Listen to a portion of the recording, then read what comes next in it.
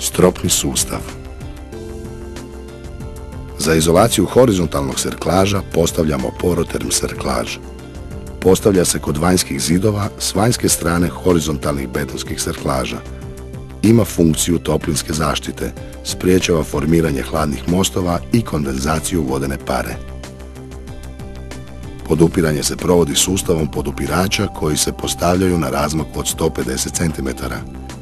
Podupirači se smije maknuti kad beton dostigne predviđenu tlačnu čvrstoću, ali tek nakon 21 dan od betoniranja.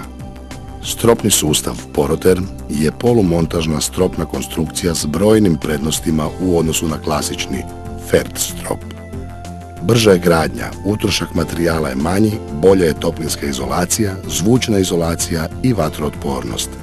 Površina stropa idealna je za žbukanje. Na završni red zida postavljaju se poroten gredice koje moraju nalijegati na zid najmanje 12 cm.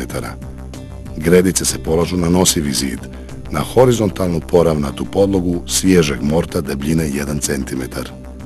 Osni razmak gredice iznosi 60 cm, a naljeganje na zid najmanje 12 cm.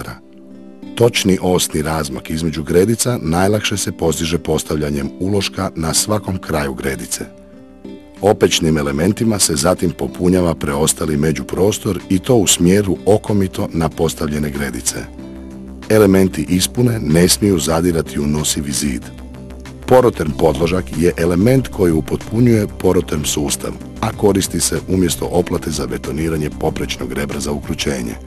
Osim visine, koja iznosi 10 cm, ostale dimenzije su poput poroterm 60 stropne ispune.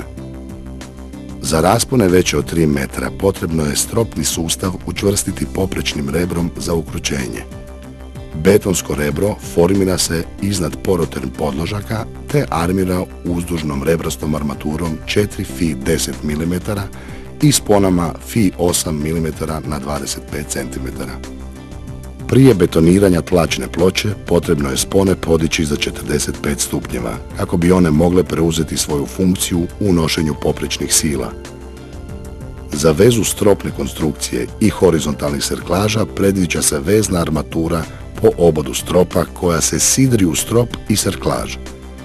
Najmanja količina rebraste armature je 1 fi 8 mm po svakoj gredici.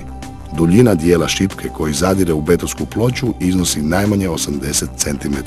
Zaštiti sloj betona mora biti 2 cm. Za armaturu tlačne ploče koriste se zavarene mreže ili rebrasta armatura. Tlačna ploča debljine 6 cm izvodi se od betona najmanje kakvoće marke betona 20. Beton je najbolje ugraditi bez prekida, a kada je prekid neminovan, treba ga izvesti iznad nosivog zida ili iznad opećnih elemenata u smjeru pružanja gredica.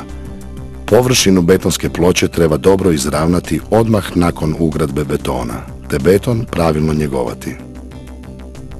Cilj Wienerbergera je promicanje standarda koji u obzir uzimaju okoliš, društveni napredak, inovacije i tehnologije konzistentne s održivim razvojem.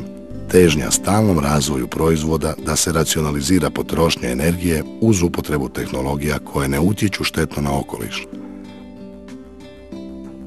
Wienerberger opeka uvjerljiva pobjeda u graditeljstvu.